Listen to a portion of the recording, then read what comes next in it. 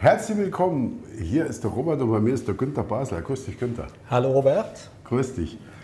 Leute, wir waren vor, wir haben gerade geguckt, das war, glaube ich, der 20.12. oder also um den Dreh 2019. Das heißt, das ist eigentlich schon fast drei Jahre her, unser erstes Video. Mhm. Und das äh, letzte, was wir für den Claude Schumacher gemacht haben, das ist zwei Jahre her. Zwei Jahre. Hast du schon mal so einen Tag der offenen Tür, kann man so sagen? Einladung für deine Stammgäste das wird ja heute so sein. Und es kommt ja heute wieder wir, so. Genau, genau, genau, dass wir heute ein Frühstück anbieten und die Leute sich dann hier ähm, aussuchen können. Einmal Korallen und zum Zweiten habe ich euch beide, Claudia und dich Robert, eingeladen, um gleich so eine kleine Tollkrone Frage-Antwort-Spiel genau. zu machen mit meinen Kunden. Weil doch viele Kunden sagen, oh, den Robert und Claudia, den möchte ich mal gerne kennenlernen. okay. Und wenn man dann auch so ein bisschen Insiderwissen bekommt, was man eben sagen darf von der Industrie, wo ihr beide ja sehr, sehr nah dran seid, da freut man sich heute Nachmittag oder heute Vormittag cool. auf. Ja, wer da drauf Bock hat, also einmal Korallentalk bei Korallen Basler und natürlich ein bisschen was über das Geschäft gleich noch erfährt und über Günther selber, der bleibt dran. Wir freuen uns.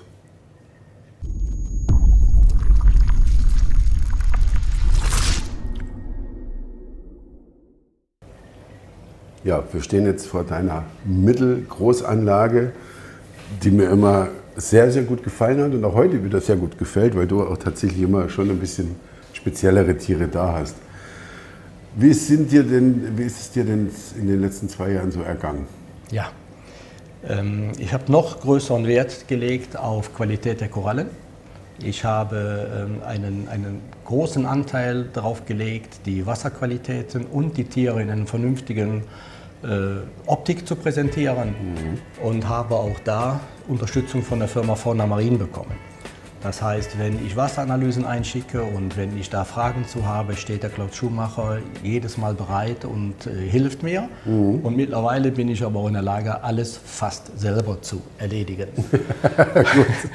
ähm, ja, wichtig ist eigentlich, wenn ich so eine Anlage betrachte, da sollen keine Plagegeister drin sein. Die Korallen sollten in einem vernünftigen, äh, äh, vernünftig stehen. Und da sage ich mal ganz einfach, legt der Kunde auch Wert drauf. Und mittlerweile kommen noch Kunden nach hier, das sind Top-Aquarianer, die also ganz genau wissen, wenn man hier in der Anlage reinguckt, welche Qualität an Korallen hier vorhanden ist. Mhm. Und da ist also ganz einfach Pflege, die in der ganzen Woche hier passiert, sodass ich dann auf Samstags fokussiert alles vernünftig hier präsentieren kann. Genau. Aber man kann dich ja auch so anrufen äh, und nachfragen, ob du da bist. Und man kann in der Woche, kommen oder am genau, Samstag dann genau. fest. In der Woche genau. mache ich alles gerne mit Termin. Kurzer Anruf, dann sage ich, kein Problem, Termin mhm. steht und dann können die Kunden auch unter der Woche kommen. Du bist einer von den ersten fünf ECP-Fachberatern von Fauna Marin. Ja, da Wie bin muss ich mir das denn vorstellen? Was müsst ihr denn da tun, um ja. dieses Zertifikat zu bekommen? Ja. Also da bin ich ganz stolz drauf. Der Klaus Schumacher der hat mich angerufen, hat gefragt, könntest du dir das vorstellen, ECP-Berater von Fauna Marin zu werden? Und da habe ich zuerst mal gefragt, ja, wie sieht das denn aus? Dann hat man in einem Gespräch erklärt, dass eben ähm, die Leute auf der Seite bei Fauna Marin, wenn Sie eine ICP abgeschickt haben, einen Berater anwählen können. Mhm. Dann kommt die komplette ICP auf meiner Webadresse und dann habe ich Zugriff darauf. Und wenn der Kunde, dann melde ich mich bei den Kunden und sage, hier, ähm, die ICP ist vorhanden, unter der Nummer kannst du mich gerne zurückrufen, zwecks Beratung. Dann muss der Kunde das auch tun. Ja. Ich also telefoniere, also nicht, ich telefoniere nicht ja. hinterher. Ich kann dir gleich mein Handy aufmachen und dann kann ich dir mal zeigen, was in den letzten zwei Monaten hier passiert ist. Das ist unfassbar. Ja. Aber ähm, der Erfolg ist, ist ganz toll. Und zwar ist also ein, ähm, ein Lehrgang nötig bei Fauna Marien und den habe ich ähm, mit Klaus Schumacher selber gemacht. Mhm.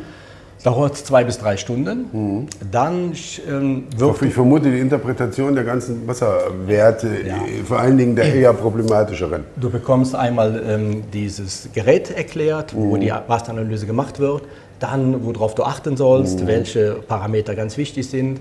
Dann äh, wird gezeigt, äh, welche Wasserwerte miteinander abhängig sind, was ist zu korrigieren und Das war Anfang ganz, ganz, ganz schwierig. Da ist alles auf mich reingeprasselt. Das schaffst du nie. Ja, wie soll ich? Ich muss. Ich muss Wasseranalytik. ja, ich muss da hier als ICP-Berater stehen und muss dir als, als erfahrener Aquarianer Paroli bieten können. Richtig. So, und dann habe ich also mit Claude Schumacher auch ein paar Telefonate gehabt, äh, den Lehrgang absolviert und dann kam noch eine kleine Nachschulung und dann hat man mir dieses Ja. ICP-Zertifikat. Ich finde es das Richtige, äh, dass es Fachberater gibt, die tatsächlich dann den Aquarianer unterstützen, weil jetzt nur die reinen Werte zu bekommen, ist das eine. Aber die Interpretation, Der das, Umgang, ja. das umzusetzen, das ist das andere. Wie du sagst, es gibt ja Abhängigkeiten, es geht ja oft schon los, dass einer statt 35 PPT nur 34 hat, dann haben wir ja schon, dann sind die Werte schon verschoben. Genau. Ne, sagen wir mal so. Dann, Es gibt sogar eine Information, dass wenn die PSU ziemlich weit unten ist, Ja. dann kannst du Korallenzusätze im Becken tun, so viel du willst. Die nehmen das gar nicht auf. Hm. Das heißt, eine Voraussetzung ist tatsächlich, dass du nah an der PSU 35 optimale bist. Wassersalinitäts- Genau, genau.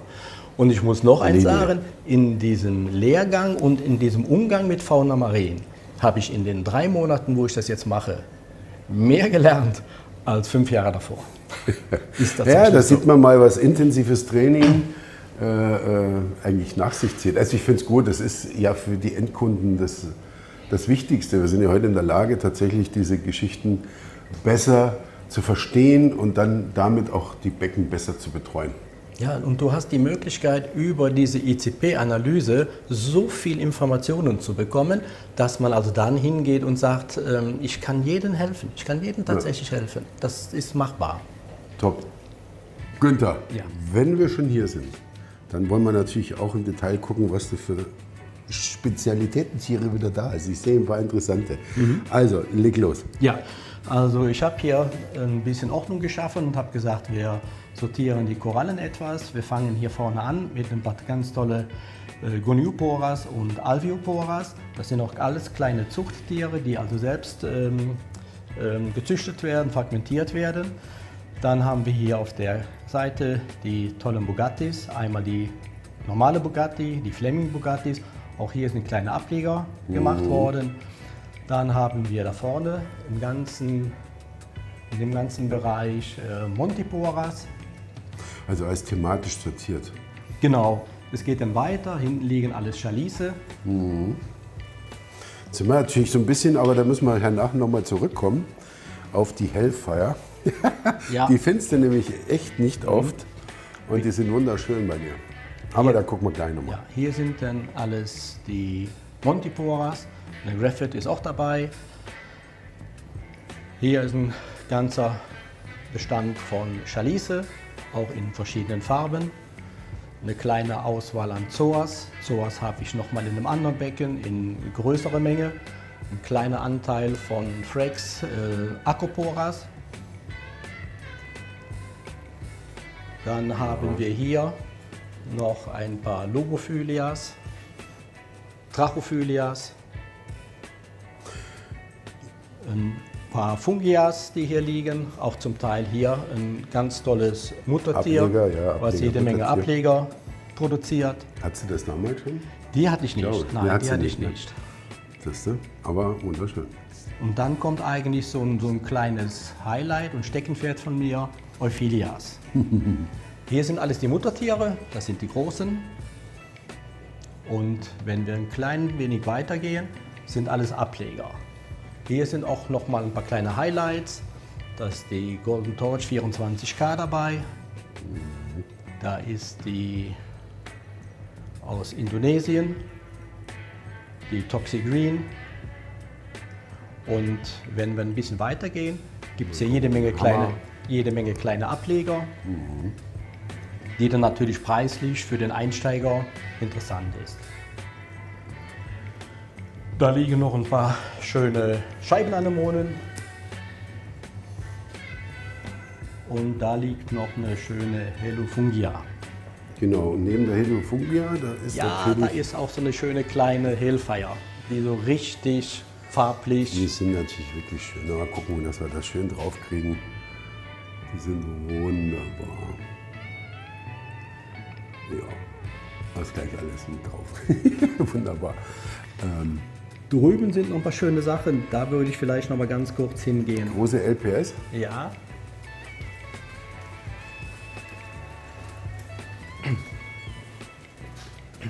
Einmal liegen hier einige Scheibenanemonen drin. Ja. Da liegt so eine schöne, ja ich sag mal so senffarben-gelbe, eine Ricodea Florida im Ja, XXL-Format. Richtig groß, ja. Und eine Cantophilia.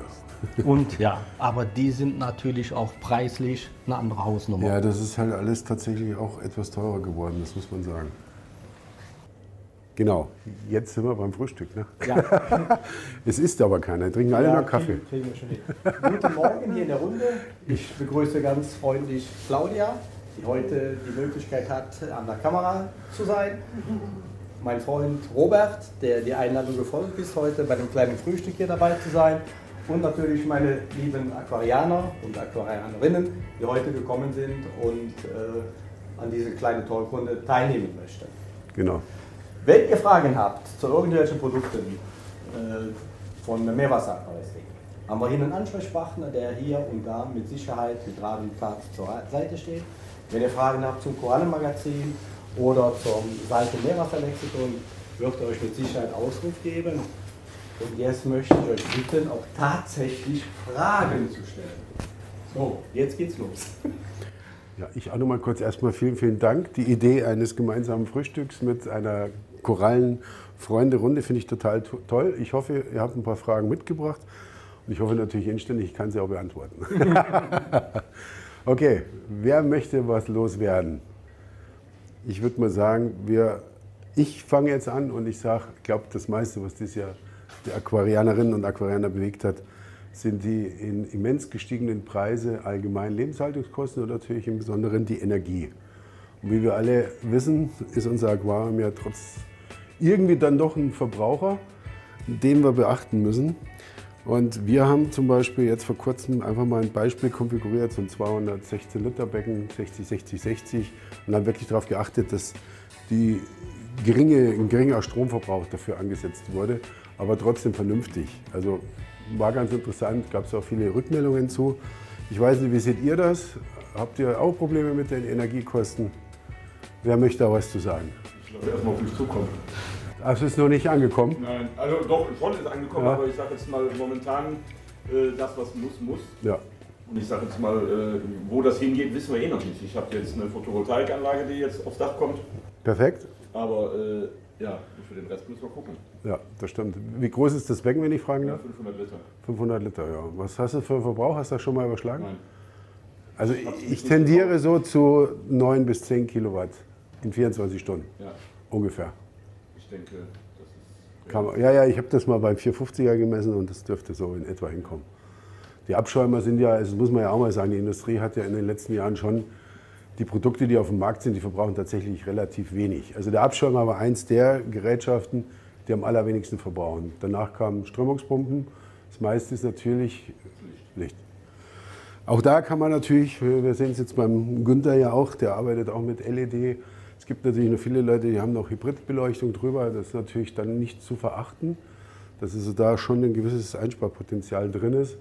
Das heißt, nur auf LED umzusteigen und natürlich dann die C5 zu reduzieren, ist jetzt natürlich. Aber das ist tatsächlich so, da kann man sparen. Ansonsten glaube ich, Rückförderpumpe kriegst du nicht weg. Äh, Strömungspumpe im Becken wissen wir selber. Der eine mehr, der andere weniger, hat ja auch ein bisschen was mit dem Aufbau und den Tieren zu tun.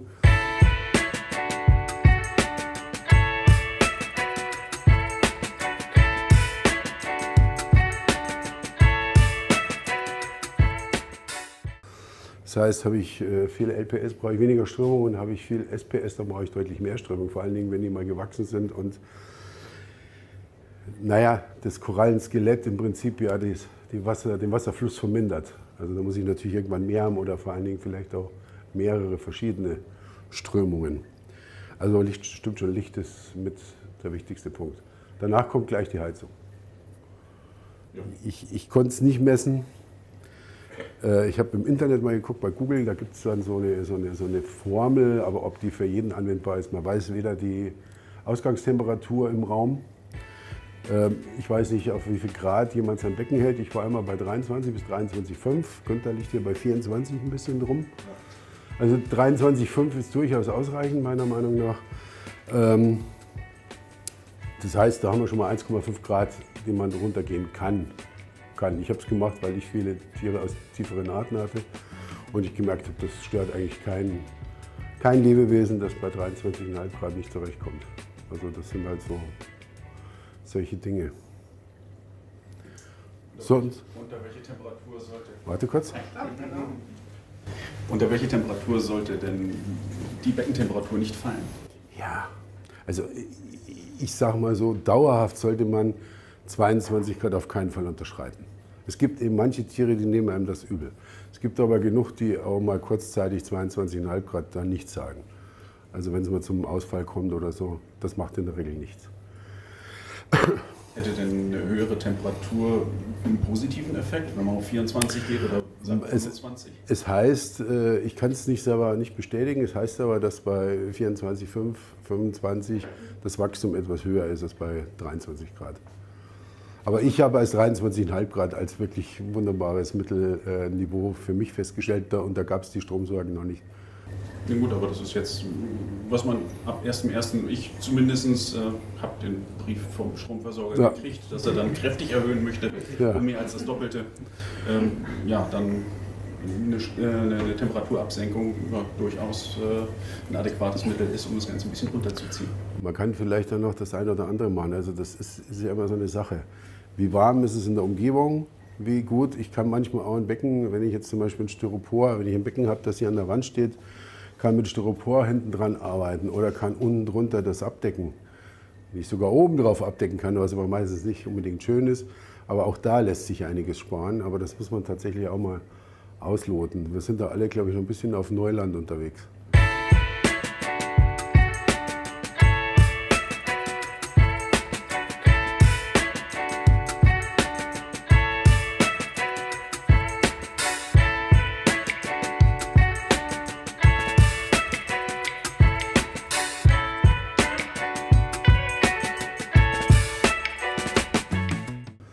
Merke halt nur diese Sorgen der Aquarianerinnen und Aquarianer, die halt wirklich alle sagen, ja, kommt natürlich von denen, die viel Geld haben, oft immer, ja, dann muss man solche Tiere nicht halten, das ist Quatsch, weil wir haben alle mal klein angefangen und hatten vielleicht mal nicht so viel Geld, was man dann vielleicht mit 50 dann doch hat. Ähm, nur es, man muss halt auch die normale Aquarianer mit berücksichtigen und ich finde, das ist halt dann schon ein wichtiger Punkt.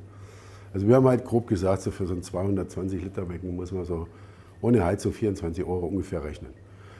Mit Supertechnik vielleicht ein bisschen mehr, aber nicht wirklich viel.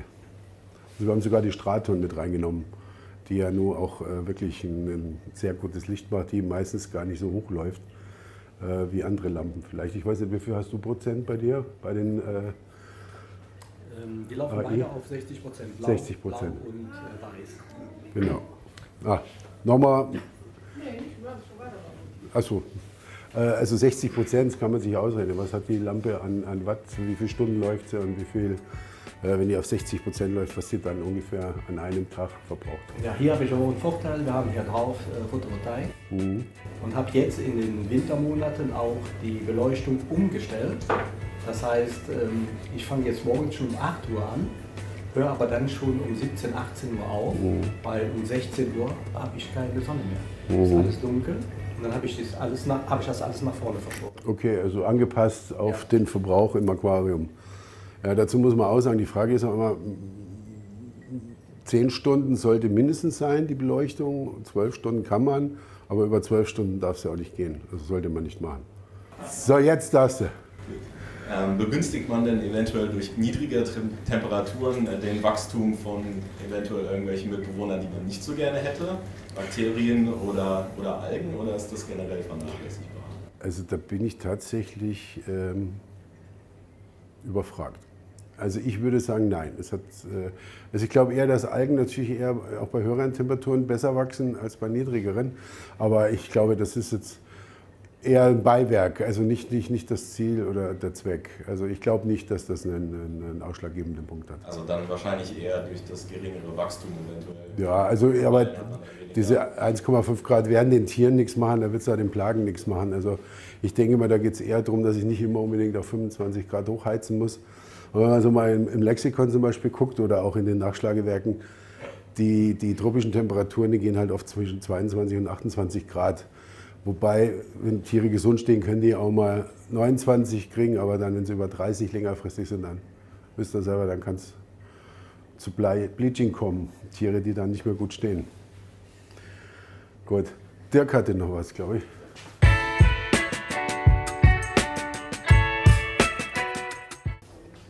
Du hast das beste Beispiel gerade genannt in der, in der Umstellphase. Wie viel konntest du jetzt sparen bei der Veränderung deiner Beleuchtung? Ja, ich bin von der ADI Hybrid 4x80 Watt mit 3x75 Watt äh, LED umgestiegen auf zwei Stratons Pro und liege jetzt von 640 Watt auf knapp 200, 190 Watt. Ja, also das ist natürlich schon, ja. Warte kurz. Was man für Tiere kommt auch ein bisschen darauf an, was man für Tiere hält letztendlich. Ne? Wenn es jetzt reine SPS ist, dann sollte man mit der Temperatur schon ein bisschen höher sein. Ich habe zum Beispiel nur LPS drin, Farben mit 23 und das schon seit langer Zeit. Genau. Also das stimmt. Also wir haben, ich kann immer das Beispiel von so einem holländischen Spezialbecken nehmen, der fast nur so 22,5 Grad drin. Und wir haben auch vorhin gesagt, es ist tatsächlich so, dass bei 23,5 Grad wahrscheinlich die Tiere nicht ganz so schnell wachsen wie bei 25 Grad, jetzt so bei SPS. Äh, aber das ist auch, glaube ich, weiter nicht schlimm. Also das stimmt schon. Es ist nur einfach so, dass heute LED tatsächlich dann unabhängig jetzt von den Strompreisen die bessere Wahl ist. Also man muss nicht unbedingt eine Hybrid drüber haben, es geht auch anders. Aber guter Einwand. Wer hätte gerne noch was dazu beigetragen? Äh, wie, sieht das, wie, sieht das, wie, sieht das, denn aus mit äh, Abschaltungen zum Beispiel von ähm, UVC-Klärer ähm, oder anderer Technik? Halt, ähm, ja, also, okay, sollte ich empfindliche Fische halten? Also ich, ich bin seit 1995, 94, 93 Aquarianer. Und ich habe in all den Jahren nur mal zu Testzwecken einen UV-Klärer benutzt. Aber ich habe auch nie so super empfindliche Fische gehalten. Also das heißt, habe ich einen Palettendoktor drin oder habe ich sogar noch, was, was meistens so die Königsklasse ist ja der Weißkill-Doktor. Sowas würde ich nicht pflegen ohne UV. Aber ein normales Becken muss eine UV-Anlage nicht unbedingt sein. Aber um aus Stromgründen das zu sparen, würde ich dann auch nicht machen. Weil es ist ja so, wir wissen, oder die meisten sollten es wissen, wenn ich eine UV habe, dauert das ungefähr drei Wochen, bis die Entkeimung höchstmöglich ist. Stecke ich das aus, ist 24 Stunden später eigentlich der Punkt von vor drei Wochen erreicht. Also das heißt, die Keimzahl geht ganz, ganz schnell wieder hoch. Auch da streiten sich die Geister, ob das immer so gut ist, wenn das so rein ist, aber es spricht nichts gegen eine UV. Nur aus Stromgründen dann diese, was haben die, so 10 Watt, 9 Watt, 10 Watt, je nach Beckengröße, das würde ich dann auch nicht machen. Aber meine Grundeinstellung ist, sie ist nur dann notwendig, wenn ich heikle Fische habe. Kann einem halt einen Arsch retten. Ne? Also hoffe ich konnte das einigermaßen beantworten. Wir haben wieder jemand neuen, wir filmen. Ne, Quatsch. Alles gut. Weil haben wir noch?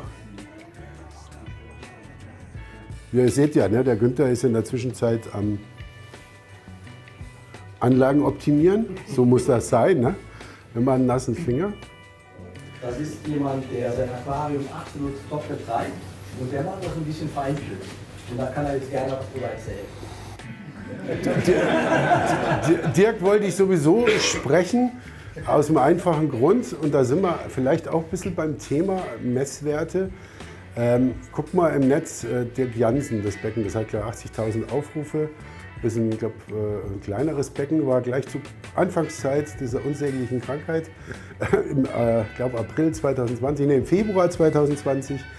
Und der Dirk hat äh, jetzt sein Becken ein bisschen umgestellt. Und zwar hat sich von normalen Acroporas äh, verabschiedet und geht in Richtung der sogenannten Signature-Korallen. Signature-Korallen sind besondere Tiere, die besondere Farb, äh, Farbvarianten oder, oder Ausfärbungen zeigen. Und da ist er gerade dabei, mit Tenois nehme ich an, Acropora Tenois weitestgehend, das Becken neu zu gestalten. Und es ist tatsächlich so, da kostet so ein Pöppel halt dann 100 Euro von so einem besonders schönen Tier. Richtig? Richtig. Genau. Und jetzt erzähl mal, warum machst du das? Warum steigst du jetzt so in diese Tenuis äh, Farbvarianten ein? Ich darf den Namen nennen, ne? Ja klar.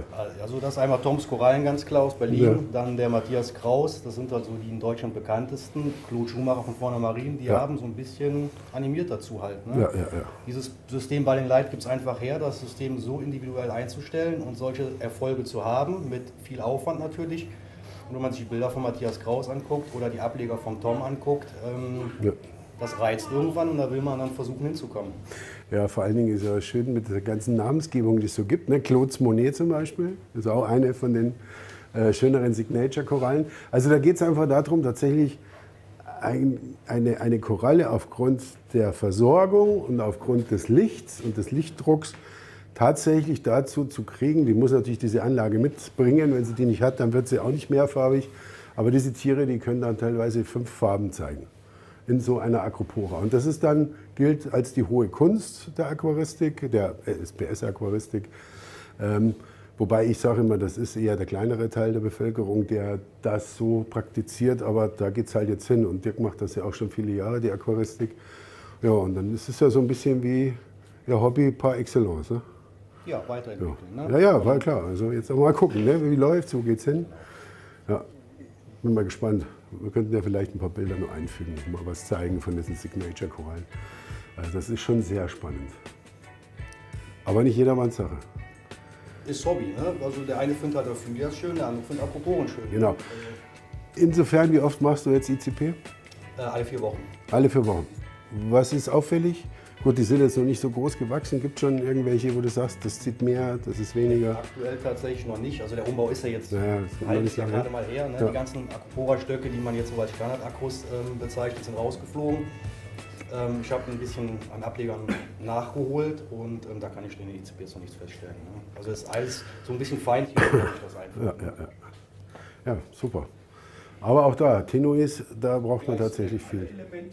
Warte, warte kurz.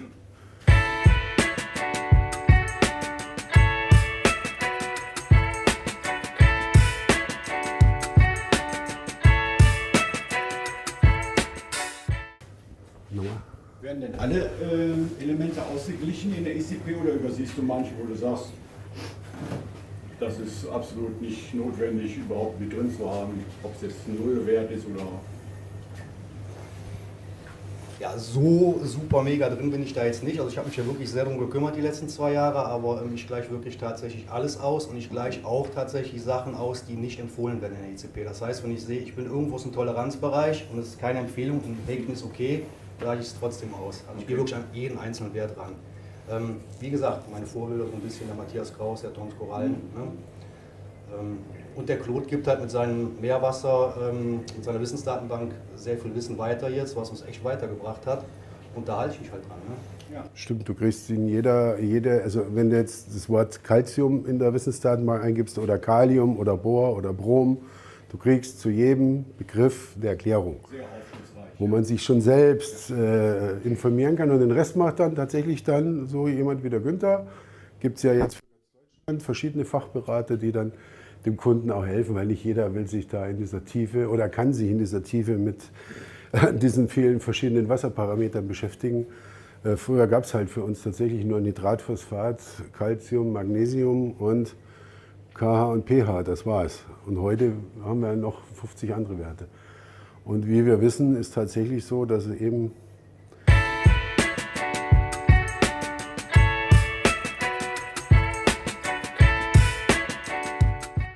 Es gibt Dinge, die wissen wir heute noch gar nicht, die damit zu tun haben, warum eine Koralle manchmal zickt, weil der eine Wert nicht ist wie der andere. Und je mehr wir da an Wissen erlangen, und da gibt es ja viele Firmen, die das im Prinzip möglich gemacht haben, desto besser ist es für uns Hobbyisten, dass die Tiere einfach noch weniger kaputt gehen, noch mehr vermehrt werden können. Genau. Also alle vier Wochen ECP regelmäßig. Ja. Gut. Wer macht, wenn ich fragen darf, wer macht noch ICP? Oder wer hat schon eine gemacht? Und wer hat, ge- fragen wir mal so, wer hat noch nie eine ICP gemacht? Niemand. Das ist schon mal gut. Wie häufig? Wer macht das alle drei Monate? Ich gebe das Mikrofon einfach mal weiter. Das ist das. Also alle drei Monate. Alle drei Monate. Gut. Was ist so die, die letzte, was musste korrigiert werden? Weißt du das noch aus dem Kopf heraus? Ja, pH hatte ich zu niedrig auf Ja. jeden Fall. Meine Salzdichte ist sehr hoch Ja. gewesen. Ja, sonst war das alles im Rahmen. Gut, die Salzdichte lässt sich ja relativ leicht. Also Kalzium ist schwieriger auszugleichen als die Salzdichte, obwohl du musst beim einen auch noch Wasser raus und neues Wasser rein. Aber ähm, ja, KH ist tatsächlich ein Wert, den habe ich immer jede Woche gemessen. Also der sollte bei Steinkorallen eigentlich immer im Auge behalten werden. Das ist wohl wahr. Ja, der Rest, wie gesagt, ich habe jetzt auch kein Problem damit, wenn einer mal ein bisschen Nitrat, ein bisschen Phosphat im Becken hat. Äh, Das sollte nur nicht dauernd schwanken. Ansonsten ist das nicht so dramatisch. Oder wie seht ihr das? Schwanken ist schlimmer wie ein höherer Wert. Definitiv. Gut. Wer hätte gerne noch? Wer hat noch nicht? Was haben wir noch zu erzählen? Ach so, ja, wir wollten noch was erzählen, stimmt. Also unser Magazin gibt es jetzt dann fast drei Jahre. Wir haben also tatsächlich auch, wo wir bei Dirk waren, kurze Zeit später mit dem Magazin begonnen. Weil wie ihr alle wisst, dieses Magazin ist kostenlos bisher und äh, trägt sich durch die Werbung, die in dieser Zeitschrift platziert ist. Sonst würde es gar nicht gehen. Aber bei uns ist es jetzt auch so, dass die letzten, ja, seit April 2020, als das losging, äh, hat sich mittlerweile Papier und Druck äh, auch verdreifacht. Also man kann ja sehr offen sagen, wir zahlen fast 14.000 Euro im Quartal. Dazu kommt die Firma Fahner Marien, macht über ihr Netzwerk für uns den Versand der ganzen Pakete an die Händler und auch teilweise auf Palette, je nachdem wie groß die Händler sind. Das heißt, auch da hat sich das mittlerweile verdoppelt. Das heißt, dass wir da mittlerweile von relativ großen Batzen Geld sprechen, den wir einfach nicht mehr, ja, wir können es nicht mehr, nicht, nicht, nicht mehr zahlen. Und, und aber das Magazin weiter anbieten zu können, haben wir uns dann irgendwann überlegt, ähm, wir werden in Zukunft vom Handel 1 Euro nehmen, plus Mehrwertsteuer, das 7 Prozent, und hoffen, dass die Kunden das nach wie vor stark nachfragen, sodass der Handel im Prinzip gerne dieses Magazin bei uns bezieht und das für die Kunden bereithält. Und wollte euch mal fragen, ob hier jemand damit ein Problem hätte, dass wir tatsächlich dafür jetzt vom Handel Geld nehmen. Der Handel kann, kann natürlich sein, dass der Handel von euch Kunden dann Geld nimmt, äh, wird aber wahrscheinlich jetzt nicht so allzu teuer werden. Aber es kann auch so sein, dass wenn einer eine Koralle kauft für 30, 40 Euro, dass die dann vielleicht dabei ist. Günther ist der Erste, der was dazu sagt. Ja, jetzt haben wir ja hier einen Händler. Ich werde natürlich hingehen und werde die Zeitschrift nach wie vor kostenlos an euch weitergeben. Und das halte ich also für ganz vernünftig, dass man äh, sagt, wenn die Kosten dort steigen, okay, aber die Zeitschrift, die hier geordert wird, die ist weiterhin kostenlos. Das ist toll. Ich freue mich über einen Applaus. Das ist tatsächlich super. Sage ich schon was dazu. Ja, gerne. Also ich finde persönlich das mehr wie gerechtfertigt, äh, Geld dafür zu nehmen. Ich bin auch Geschäftsmann und wundere mich immer wieder, was man für ein Wissen äh, erfahren kann durch das Internet, von Ja. einer Datenbank, äh, hier die Report Podcast und Ja, so weiter ja- und so fort. Und mir das alles so viel Wissen im Prinzip umsonst haben, das wundert mich persönlich immer. Ja. Ich finde persönlich, das ist gerechtfertigt, äh, ganz klar Geld dafür zu nehmen. Ja, das ist toll, vielen Dank. In dem Sinne, ist jetzt dann so die Ankündigung auch für die Aquarianer da draußen. Ja, gut. Also, das war zum Magazin. Ich hoffe, das reicht.